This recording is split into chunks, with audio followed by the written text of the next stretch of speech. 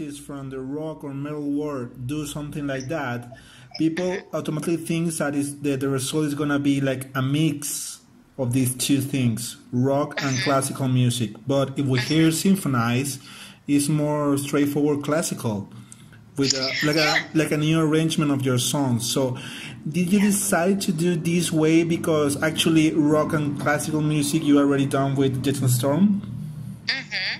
Yeah, exactly. It is just, that's true. Um, if you leave out the band, like you don't have elect, uh, like electric guitar or guitar solos or drums, for instance, then you have a whole different uh, atmosphere. And I, and like you said, it, it's it's just really totally different when you really really make arrangements for those songs uh, to to to let them be played by an uh, an uh, an orchestra is very different from when you still hear the band and then the orchestra always gets kind of into the background like you you hear some strings and it, and it all becomes really more beautiful but now there is like the emphasis is really on the on the orchestra and the arrangements in the songs you know Right. So, uh, any arrangement in particular just make you some, give you some goosebumps? Like you heard the arrangement and say, "Wow." Uh, yeah, to be honest, with a lot of songs, but um, you know, I love the the arrangements for the Vuur songs yeah. um, because Vuur is the, those are like the most heavy songs on the on uh, you know in in uh, in initially, um, and like what they did, for instance, what they did with there's like a long guitar solo in uh, Rio, I think Yeah. um, and um, they they arranged the whole guitar solo for the orchestra. So there's like flutes and violins playing this electric guitar solo. And when I heard that, because in the other song they left out the solo, they they just went on to the next part. And here they arranged the whole solo with the whole orchestra, and and that was like I thought that was like epic. So I told our guitar player like, when you come see the show, uh, listen to the guitar solo because it will blow your mind. You know, it's, it's fantastic. Right. So um, this was two shows that uh, you did in, in Holland, right? Who who were recorded. But as you are becoming uh, well, twenty year, twenty five years an artist next year, um, have you thought of actually doing a tour in Europe, uh, having not the whole orchestra, but maybe some part of it? Yeah, it, is a logical step, isn't it? To, Yeah. to have a, a diminished orchestra and to, to tour. Although, even though with half orchestra or even a chamber orchestra is is very expensive um, to tour, and touring is already quite expensive, you know. So, therefore, that it doesn't happen so much unless you are like a really big artist and there's a lot of money involved. Um, then it's uh, uh, it's very much doable. So obviously, I would love to uh, to to tour, but however, we came up with the idea to next year, so maybe end 2019, to do this again with new songs, um, with more shows and we might do like just more shows in Holland, but maybe some German or whatever. But it's so we will continue working together, but like a proper tour, man. Like only the bus with all those like orchestra members is, is so expensive to tour. Well, the So other, the other thing that you can do just to go outside Holland is um, to well pay an orchestra in the city where you are playing. For example, in Germany, Right. Mhm, um, and prepare some shows. That's true, though. That's true. That's that's that's a, a thing. And I I know that's been done before. Like, and that's a good idea as well. Absolutely. Yeah. So, um, if you if your plan is to do again this, uh, as you mentioned, and and it will be to record it again as well. Not sure. Maybe if the songs like yeah, obviously we will probably play new songs, uh, newer songs or, or different songs, whatever. Uh, it is interesting to to record again. However, it won't be as special as this one, of course. But but maybe yeah, maybe if this one, if people really like this, thing, you know, me with an orchestra and, and all the old songs and everything. Yeah. Then why not, you know, make part two? I, am not, not sure what, what to do. I'm also working with another orchestra for for uh, the coming year. Like it's a little bit smaller, like a string orchestra. Right. So I'm doing kind of like, and I'm working with a brass band uh, next year somewhere. Yeah. So I'm doing kind of, I'm kind of getting into, you know, people are asking me like, you know, which participants. So I'm kind of getting into this whole orchestra and brass orchestra thing lately. So who knows, you know. Okay, so you put also voice to songs from other bands as, uh, as a guest musician. I don't know. I remember songs from uh, Anathema, or, or, in the last uh, Amorphis album, you also have a song. So, have you thought of including also these uh, guest uh, musician songs that you did, or is gonna be only your projects actually? Uh, no, I think. Uh, well, actually, I'm doing something uh, a little bit different, but I'm going because to, to celebrate my 25 years of professional musicianship a little bit more, I'm doing uh, like 43 uh, acoustic shows in Holland actually. All in um, Holland. Yeah, it's it's like a theater tour. Yeah. Um, and so I'm doing that um, in Holland, and I'm doing a lot of shows with uh, Punto, our guitar player. Yeah. And I'm doing a lot like a lot more songs from those 25 years. So then i will include songs with devin um, devin townsend and anathema and gentle storm and lorraineville and everything and gathering and whatever.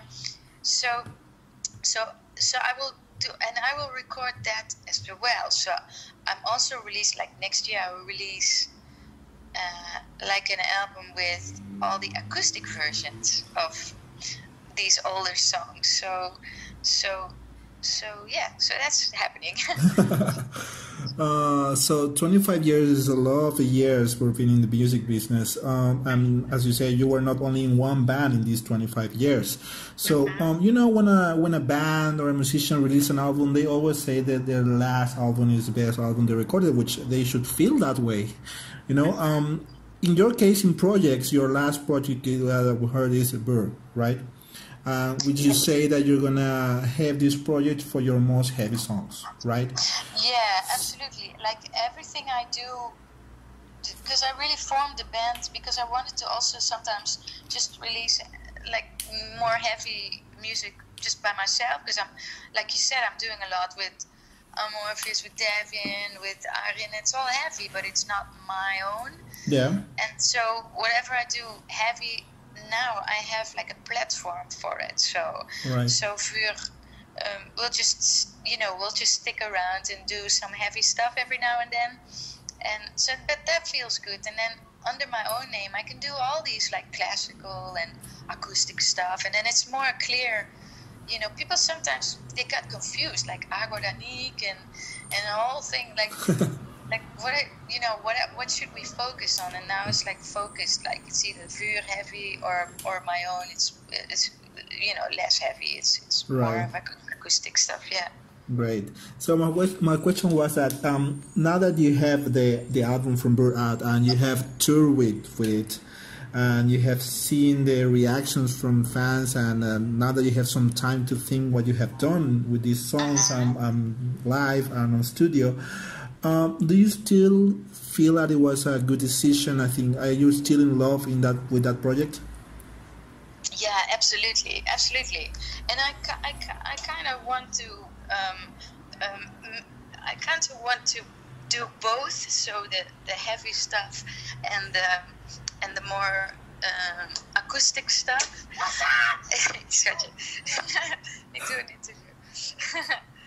um, and and so I, I I probably just like switch every now and then to vuur and then to uh, and then to you know an acoustic album, a vuur album. Yeah. So Yeah. you don't think that everything is suitable for your fans? I mean, like if someone likes your voice or you as a musician, you don't think that they can listen to Agua de Annique next to Vuur, next to The Gentle Storm?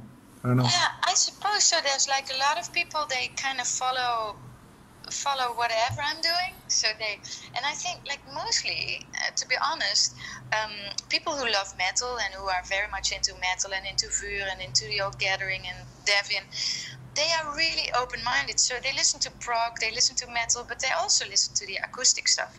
And a lot of acoustic stuff I'm doing is also like a version of the metal songs I always do. So, um, so they they kind of it's kind of easy for a metal audience to switch to uh, the classical. Uh, shows or to the acoustic shows yeah and and so uh, the other way around sometimes people just just follow my um, my acoustic stuff, and I do a lot more in Holland. I'm I'm a little bit more on television, for instance, in Holland. So I have a little bit of a mainstream following here, and they are go- kind of going for the, the more quiet stuff, you know. Yeah. and, uh, a lot of those guys, and now of course we have a good metal scene in Holland too. So they kind of follow everything. So I'm just blessed with an audience that is kind of open to everything, Yeah. and I can just really express myself and, and sing my heart out, and and that's just so nice, you know. It's it's I'm one of the few I think Devin and those guys one of the few artists that, that are blessed with such an audience, you know. Yeah. Well, talking about the scene in Holland, actually, um, uh, this is gonna be my first year that I'm going to uh, Roadburn Festival, which you Yeah, have oh, there. cool. Yeah, uh, uh, a lot of friends are going every year, but this is gonna be my first. So, um, Awesome. and I was thinking, like, you doing 25 years as a musician next year, it wouldn't be cool that you have some role in that festival because your music is almost related to the things that they put out there. Yeah, that's true, and I, I know uh, Roadburn always has uh, has this uh, this thing where they do something like special, right, with a band uh, Yeah. reuniting, or uh, yeah. So yeah, that would have been perfect, but um, uh, but I'm not part of it this year. I hope to anyway play once in my lifetime on this really special festival because it's something else, you know. It's like always, like then it's done, and then the next day, within 15 minutes, it's sold out again for the next year. So it's it's really pretty pretty epic, yeah. Yeah. All right. So, um, 25 years are too many years for taking decisions, especially in a music business that is ever changing. You know. So, um, if you have to put in balance good decisions that you have made with your career and bad decisions, do you have a lot of bad decisions that you regret? Maybe. That's a good question. I, I, I, I'm, I'm not sure because, yeah, of course, sometimes you make uh, stupid decisions or you spend too much money on something or you go in business with the wrong people or, you know, there's every musician can tell you the same story, the same mistakes. Um, but I have to say, you also learn so much from from falling on your ass, you know. so so sometimes you you learn like how not to do it the the the, the next time or um, you know you you learn a lot about people you learn a lot about doing business for instance Yeah. but also musically you can make a wrong decision or to step into the wrong project or whatever but i never feel i mean i, I don't like it i don't like making mistakes but i never feel regret because I, I you always take something positive from it you know and yeah Right. So, in these 25 years, have you ever thought of quitting music? Actually, I mean, like uh, doing doing something else besides. Not really. I, I do sometimes think it's a heavy world to be in. It's uh, there's a lot of responsibility. Um, I live from the oh super. Thank you. Wow, lekker. I'm getting dinner. So so there's a lot of responsibility. I live from music. So me and my husband we do this together, and he's doing management, production, all these things and we have a son and and sometimes you know uh, money things are difficult and you know you feel responsible. And and it's a lot of hard work but i love it so much. I love singing. I love writing music. I love talking about it like just now you know Yeah. to you.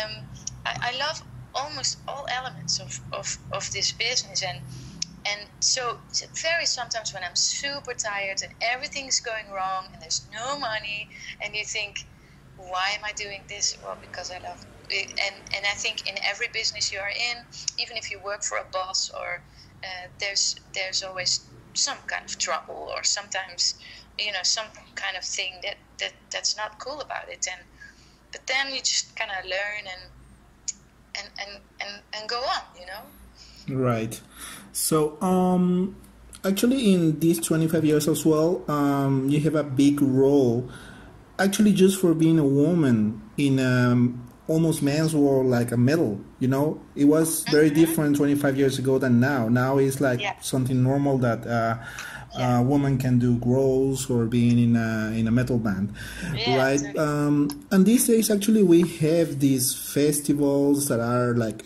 female metal voices and stuff do you think that it's better to have actually these or just normalize the role of a woman in music as metal yeah, I think it's a good thing. I think, um, you know, I liked being one of the few women in metal um, because I like being in a man's world. I, I, in general, I'm very.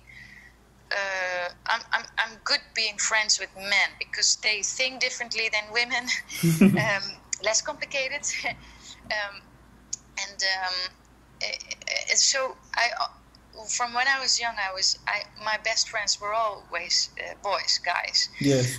I like this masculine world, and I and still we are outnumbered, right? So there's still less women than men in in this uh, metal and prog and rock scene, and I like it like that. Uh, however, I do think it's very very cool that there are so many women out there doing such a good job. You know, being singers. You know, the new generation of singers in metal, they are amazing, amazing. So I like to. I like how this is going, and and, and not even people who are in the band, but also light technicians, sound technicians, um, photographers, journalists. There are more and more women in the scene, and, and that's a good, it's a good thing, you know. Yeah, totally. A little bit of color. Let's see. Great. Well, just to finish the interview and actually letting you have your dinner. Uh, um, okay, so you have done this symphony thing, which is actually really cool. Mm-hmm. I really enjoyed the album. Okay. Um, so if you have to recommend this to other artists, which artists would you like to see doing something like you have done here? Mm, well, the artists who I um, they already done it. Like people like Devin Townsend, you know. Yeah. Um, his music is perfect for this this kind of uh, thing. But obviously, he did this. Yeah. Um, uh, in Plovdiv the other day, but um, but maybe bands like Mastodon, you know, like heavy uh, prog kind of heavy shit like Mastodon or um, but but also Opeth, and um, it's just the, the, music is just so perfect. Um, but it's not easy to make really good arrangements for heavy music for orchestral yeah. uh, purposes because you know you have to fill in all the melodic parts and you know it's it's a it's a tough job. But if you do it right, it can be so epic. You know. Totally.